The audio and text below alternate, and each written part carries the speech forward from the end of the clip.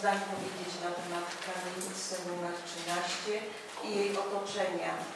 A więc przejście od arka e, chodnikiem w dół jest utrudnione już od dwóch lat. Wszyscy, którzy przemieszczają się chodnikiem, muszą schodzić na jezdnię, po której jeżdżą samochody. Kierowcy się bardzo denerwują. Dochodzi czasami do ostrej wymiany zdań. Nie mówiąc o tym, jak się przechodzi z dzieckiem na wóz. Zejście po tych stopniach, a później wyjście po kilku stopniach z wózkiem jest naprawdę bardzo trudne i ciężkie. E, chcemy promować nasze miasto, a więc musimy zacząć od podniesienia estetyki naszego miasta. Natomiast w obecnej chwili budynek, jak i otoczenie e, nie sprzyja temu. E, przede wszystkim wybite szyby w budynku, podparty budynek z templami oraz prowizoryczne ogrodzenie, w którym znajduje się, za którym znajduje się wiele pasków i śmieci, źle świadczy o, o, o, naszym, o naszym rynku, o naszym mieście. I jeżeli chcemy promować nasze miasto, to przede wszystkim zadbajmy o estetykę. Nie ma, y, Urząd Miasta nie posiada odpowiednich środków, więc y, najlepszym rozwiązaniem będzie sprzedać tę nieruchomość osobie, która posiada takowe środki i zobligować tą osobę, która będzie, nabywała tę nieruchomość, aby w jak najkrótszym czasie y, dokonała remontu tej nieruchomości, a wtedy miasto y, zyska estetykę, oczywiście będzie y, lepsza estetyka naszego rynku, a poza tym będą również dochody z podatków e, z lokali, które tam powstaną użytkowe. Ja chciałbym zapytać, co zmieniło się e, w radykalny sposób od ubiegłego roku, e, że jest postawiony wniosek dotyczący sprzedaży tej kamienicy. Ja wysłuchałem opinii przewodniczącej zarządu osiedla, natomiast mam przed oczami tutaj e, wypowiedź z ubiegłego roku, która stanęła na przeszkodzie podjęcia tej uchwały rok temu. Pytam dlatego, że w moim mniemaniu właściwie nic się nie zmieniło. Natomiast no, niektóre wypowiedzi, jakie wtedy padały, były wypowiedziami, powiedziałbym, na nie. I chciałbym usłyszeć, jakie się pojawiły nowe argumenty, dla których w tej chwili osoby bardzo skrajnie wypowiadające się odnośnie sprzedaży tego mienia są skłonne podjąć taką decyzję. Mogę Pani Przewodnicząca zacytować tutaj wypowiedź jednej ważnej osoby z dzisiejszej Rady, która była członkiem tej treści. Jestem i będę przeciwny sprzedaży kamienicy przy rynku 13. To jest nasze mienie komunalne, własność miasta. W całości ta kamienica jest teraz bez lokatorów. Możemy ją wyremontować, czy wynająć przedmiot podmiotowy, który urządzi wnętrze według własnego gustu i będziemy mogli z tego czerpać korzyści. Pominę nazwisko osoby, która to wypowiedziała. Nie powinniśmy sprzedawać kamienicy w samym centrum miasta, gdzie nie mamy żadnego wpływu na kupującego, aby tę kamienicę wyremontował. Z naszym budżetem nie jest jeszcze tak tragicznie, żebyśmy musieli sprzedawać tak szybko mienie komunalne. Pozwoliłem sobie to zacytować, bo w roku ubiegłym na sesji 29 kwietnia, kiedy stanęła po raz pierwszy ta kwestia na posiedzeniu Rady i ówczesni radni, którzy siedzieli w naszych ławach, yy, narzekali na brak informacji, yy, przekazywali informacje o niemal bajańskich y, kwotach, jakie można uzyskać z tytułu dzierżawy budynku, który pozostałby we własności miasta, plus wypowiedzi takie, jak przeczytałem. Y, byłem y, osobą, która zaproponowała, abyśmy głosowanie w tej sprawie przesunęli o miesiąc, po to, by wszyscy radni mogli się bardzo szczegółowo zapoznać z opiniami, z ekspertyzami dotyczącymi tej sprawy i na sesji majowej niestety y, głosami, o których Państwo pewnie wiedzą, ta uchwała nie przeszła. W tej chwili jesteśmy w tym samym miejscu tyle, że rok później w sytuacji y, powiedzmy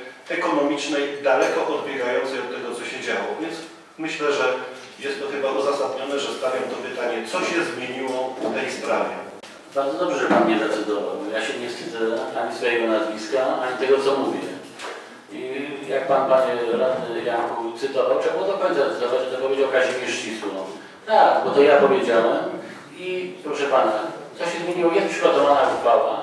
Zaraz wysłuchamy między innymi osoba taka jak pani Anna Maria miała swoje zdanie wypowiedziała, ma, ma każde prawo swoje zdanie wypowiedzieć. I proszę pana, co się zmieniło? No zobaczymy, co się zmieniło. Pan, e, niech pan nie mówi tutaj na tej sali, że to e, głosami tej drugiej strony, bo nas było tylko pewniaków zdrowotnie 8 osób. I wie pan dobrze, że dwukrotnie było podejście, nie, nie została przydana. Nikt nie powiedział, że teraz ta uchwała zostanie podjęta. I, lub jakie będą teraz okoliczności, które tutaj zaraz usłyszymy. Po to tu jesteśmy. I proszę bardzo, oddaję głos tutaj panu Władysławowi Rzymkowi, następnej osobie i zobaczymy. Ale proszę nie mówić, że, że, że ten. Chcieliśmy rzetelnej wtedy informacji. Rzetelnej. Faktycznie było to zaraz po katastrofie. Było to zaraz po katastrofie. Jeżeli się nic nie zmieniło, jest to panie radca prawny. Jeżeli nam nie, po prostu tak tego nie wyłoży, nie da informacji takich stuprocentowych, to na pewno nie będziemy, bo nikt mnie nie zmusi, żebym podniósł rękę za sprzedażą. Proszę mi wierzyć. Nic się nie stało, chyba o to zapytałem o nowe uwarunkowania. Y, Poza tym ja nie wypowiedziałem się, że ja jestem na nie. Y, To jest sytuacja dla wszystkich chyba bardzo trudna, bo my sobie zdajemy sprawę, że mienia komunalnego mamy w tej chwili niewiele i każdy podejrzewam na tej sali chciałby, byśmy je zachowali w jak największej części. Natomiast o tyle y, czułem się, powiem, powtarzam, uprawniony do zadania tego pytania, bo sądziłem, że miesiąc czasu, kiedy rok temu można było się z tymi warunkami zapoznać, gdzie były przedstawione szacunki dotyczące kosztów remontu, doprowadzenia tego wszystkiego do takiego stanu, którym można by w ogóle wynająć. Ocena y, y, środków, które y, mogłyby być pozyskiwane z tytułu wynajmu na poziomie bodaj około, jeśli dobrze pamiętam, około 90 tysięcy rocznie. To były argumenty, które wtedy mnie się wydawały bardzo przekonujące, że krótko mówiąc jesteśmy za biedni na dzisiaj, żeby to wszystko zachować. Natomiast yy, konkluzja w tym moim adwocem jest taka, że yy, czasami yy, nawet jeżeli, jak to się mówi, siedzi się w ławach opozycji, yy, to jednak trzeba się przychylić do tego, co yy, rządzący proponują i mówię to nie bez kozery, bo to jest na dzisiaj pierwszy projekt uchwały, który czytamy, ale to nie jest ostatnia sytuacja, w której coś, co było proponowane w ubiegłorocznym budżecie, czy w projekcie budżetu byłego burmistrza, zostało przesunięte i znowu jesteśmy stratni, czy będziemy stratni o rok. To jest tylko taka konkluzja, po prostu, że nie można negować wszystkiego tylko dlatego, że się siedzi w tej ławie. Dziękuję. E, Już panu radnemu oddaję głos. Chciałem panu powiedzieć, że jeszcze raz przypomnieć, przypomnieć, że byliśmy opozycją ośmioosobową, gdzie byliśmy krytykowani, że jesteśmy tak słabą opozycją, bo głosujemy, głosowaliśmy 99% uchwał dla tego miasta. Dla tego miasta. Więc, więc Uber, tak, Proszę Państwa, zmieniło się tyle, że zmieniła się Rada i zmieniła się sytuacja gospodarcza. Z Zielonej Wyspy staliśmy się tonącym okrętem i to tyle. I musimy się bardzo szybko tego pozbyć. Dziękuję serdecznie. Dziękuję bardzo, chwileczkę. E, Ja bym poprosił, jeżeli mogę Panią radcę prawną, Panią Dziadoszczyk, jeżeli można, o opinię w tej sprawie, żebyśmy usłyszeli, bo my tu będziemy mówić, czy to jest Zielona Wyspa, czy to jest tonący statek. Chciałbym opinię w tej sprawie. Kto uzyska odszkodowanie od osoby, która spowodowała tą katastrofę budowlaną i jak to w ogóle wszystko z punktu prawnego ma wyglądać? Bardzo proszę. Odszkodowanie e, odzyska e, w każdym przypadku ten, kto poniósł szkodę i kto potrafi wykazać e, istnienie związku przyczynowego między e, tą szkodą a działaniami bądź zaniechaniami sprawcy. E, Więc e, ponieważ szkodę poniosła gmina, e, to e, też odszkodowanie może odzyskać gmina, uzyskać gmina. Natomiast e, e, problem od kogo?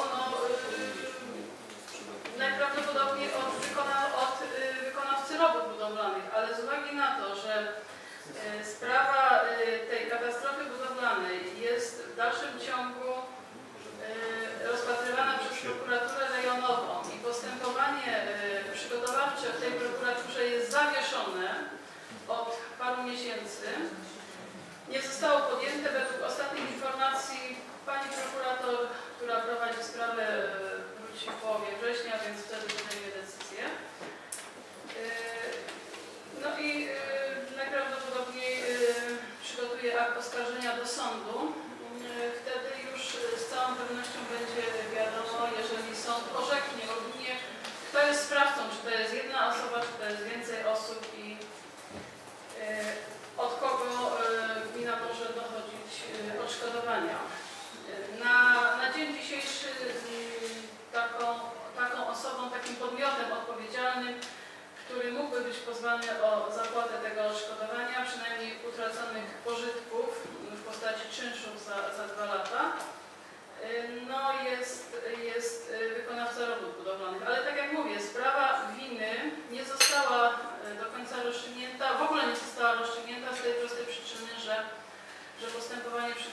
w, y, w prokuraturze trwa i, i nawet nie został skierowany akt oskarżenia do, do sądu. Proszę bardzo, Pan Antonicki. Ja mam Panie Przewodniczący jeszcze pytanie, bo y, rozumiem, że przy tych uzasadnieniach, jakie się pojawiały y, teraz, jednym z istotnych uzasadnień była kwestia estetyki tego, tej części miasta. I przy związku z tym nie byłoby zasadnym, aby w projekcie uchwały znalazł się zapis taki, że nabywca zobowiązuje się na przykład w terminie, nie wiem, roku, trzech miesięcy do usunięcia tych, y, nazwijmy, dekoracji. Bo y, jest pytanie, czy w tym momencie, jeżeli nawet ktoś to kupi, yy, nie spowoduje zatrzymania takiej samej sytuacji dotąd, dopóki on czegoś nie doprowadzi do końca. To może bardzo długo trwać. Ja podaję przykład kamienicy yy, zakupionej przez Pan Płasku na wprost szybu kopalnianego. Ile to trwało do momentu usunięcia, wyburzenia kamienicy i yy, sytuacja może się zmienić o tyle tylko, że uzyskamy jakieś wpływy z tego tytułu, Natomiast y, bałagan jaki był, taki będzie i y, przy takiej uchwale po prostu, no jak gdyby nie, wydaje mi się, że nie jest zabezpieczony nas interes w tym momencie wystarczająco. Dziękuję Pan Radny Piotr Pani prawna tłumaczyła kwestię odszkodowania na dzisiejszy stan prawny i, kiedy właścicielem tej kamienicy jeszcze jest y, y, gmina miasto Bochnia, y, moje pytanie jest, co w przypadku potencjalnego nowego nabywcy tej kamienicy, co z kwestią odszkodowania, czy ona przechodzi na nowego nabywcę, czy dalej Gmina jest cały czas podmiotem poszkodowanym i ponieważ to gmina poniosła szkodę, to gmina jest uprawniona do dochodzenia sytuacja cesji tego odszkodowania, ale to jest tylko możliwość i nie sądzę, aby gmina chciała z niej skorzystać, bo tak jak mówię, te przynajmniej utracone pożytki są bardzo duże. Ja teraz bardzo proszę y, Pana Burmistrza o krótkie uzasadnienie do, do tej uchwały. Szanowni Państwo, ja generalnie jestem przeciwnikiem zbywania mienia komunalnego. Natomiast y, sytuacja otóż jest taka, że gminy po prostu w tym momencie na remontowanie kamienic, które są w naszym zasobie, po prostu nie stać. Obawiam się, że przeciąganie tego stanu będzie, odbędzie się tylko i wyłącznie ze szkodą dla gminy. Jestem, czy raczej powiem, powiem inaczej, może yy, uważam, że po to, żeby wyremontować jedną kamienicę i zatrzymać ją w zasobie miejskim, należy sprzedać powiedzmy dwie kamienice, które się rozsypują, po to, żeby uratować coś tam. Natomiast przeciąganie sprawy niczego tutaj nie poprawi, wręcz e, moim zdaniem pogorszy. Jeszcze jedna kwestia. Otóż, drodzy Państwo, podejmując uchwałę, wcale nie podejmujemy równocześnie e, gwałtownej decyzji o sprzedaży. W tej chwili e, będzie drugie podejście do sprzedaży kamienicy przy ulicy Rzeźniczej. Po prostu Rzeźnickiej, przepraszam, przepraszam bardzo. W każdym bądź razie nie jest to takie oczywiste, czy, czy znajdą się chętni do tego, żeby zapłacić taką cenę, jaka zostanie, jaka zostanie podana do, jako cena wyjściowa. Nie jest, nie jest tajemnicą dla nikogo, że mamy dekoniunkturę zdecydowaną na rynku nieruchomości. Z pewnością, przynajmniej dla mnie z pewnością, nie zmieni się ta sytuacja za pół roku, za rok, tylko będzie trwała. No więc trzymanie tego obiektu w takim stanie, jakim jest, a przypomnę, nie mamy środków na remont, będzie powodowało to, że wartość tego, tego miejsca, tego budynku, czy raczej tego, co, co z niego zostało, będzie malała, a nie będzie rosła. Bardzo prosiłbym, że Państwa radnych, abyście wzięli to wszystko pod uwagę. A może jeszcze jedno zdanie. E, Gdybym rok temu miał cokolwiek do powiedzenia w sprawie tej kamienicy, prawdopodobnie byłbym za sprzedażą. Tyle. Dziękuję bardzo. Pan Bogdan Kostukiewicz, proszę.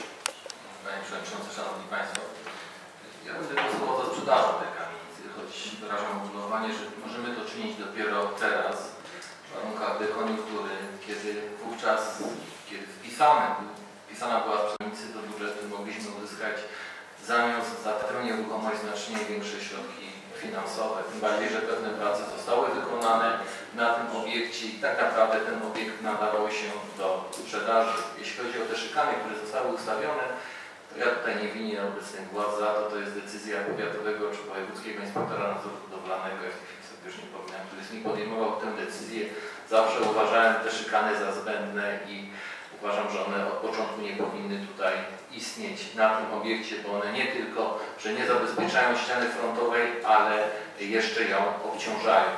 Y, Jeśli chodzi o samą nieruchomość, to składa się ona, proszę Państwa, przede wszystkim z dwóch ścian, ściany południowej i ściany, ściany, jeśli chodzi o budowę ściany południowej i ściany północnej, dlatego ponieważ została ona, te ściany zostały dobudowane do ścian budynków sąsiadujących z tym obiektem. E, Mam jedno e, pytanie do Państwa, jeśli chodzi o sprawę, mm, sprawę ubezpieczyciela. Czy on również czeka na orzeczenie w tym momencie prokuratury? Ubezpieczyciel wypowiedział się, y, że odmawia y, wypłaty odszkodowania definitywnie z uwagi na to, że nie zaistniały żadne, nie zaistniał żaden z warunków określonych y, w polisie. Y, Gmina y, wnosiła o ponowne rozpatrzenie tej sprawy i druga decyzja ubezpieczyciela także była negatywna. Y, Zostaje nam jeszcze y, do wykorzystania mm, możliwość y, drogi sądowej, ale tak jak mówię, polisa istotnie jest tak sformułowana, że, y, że żadne ze zdarzeń, które by y, mogło być objęte odpowiedzialnością ubezpieczyciela mm, nie zaistniało. Także y, nie przesądzam o tym, że, że ubezpieczyciel y, nie odpowiadałby, ale, ale y, no, sformułowania polisy są dosyć, dosyć y, jednoznaczne. Proszę pana radnego Jana Turkiewicz. No mam pytanie. Polisę przygotowywał ubezpieczyciel wraz z zarządcą budynku. Zarządcą budynku w tym momencie był, a w zasadzie dla mnie administratorem, no ale nazwijmy go nawet w ten sposób.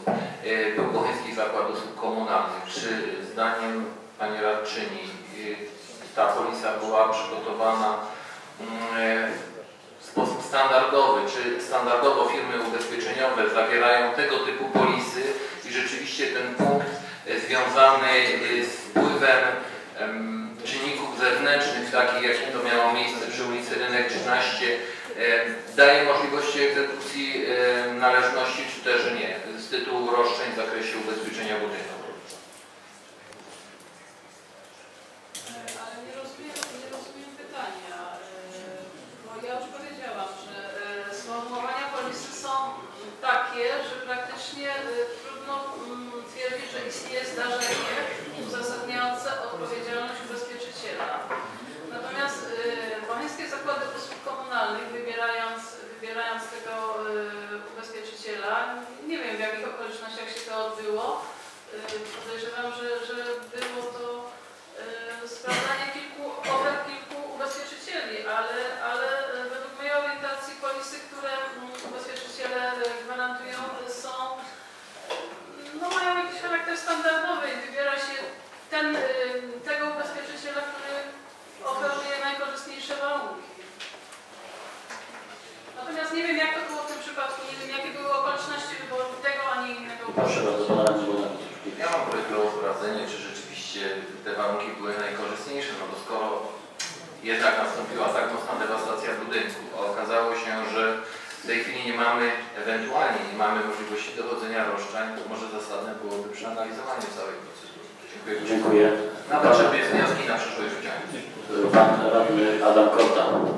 Panie Przewodniczący, Szanowni Państwo, ponieważ Pani mecenas powiedziała, że szkoda została wyrządzona na rzecz miasta obok niej, ja rozumiem, że ta szkoda została zinwentaryzowana i ona została oszacowana. Czy moglibyśmy poznać wartość tej szkody, jak ona została wyrządzona? Dziękuję. To był kosztorys sporządzony mm, 2000 w ubiegłym roku. Obiegał na kwotę 1 122 770 zł netto. Y, Plus VAT wtedy był 20, 2%, dzisiaj 23, więc tak Dziękuję. Czy ponad milion złotych jest wyszacowana szkoda na rzecz miasta? Proszę bardzo. Jeśli można, szkoda jest wyższa, ponieważ jeszcze będzie obejmować utracone wpływy.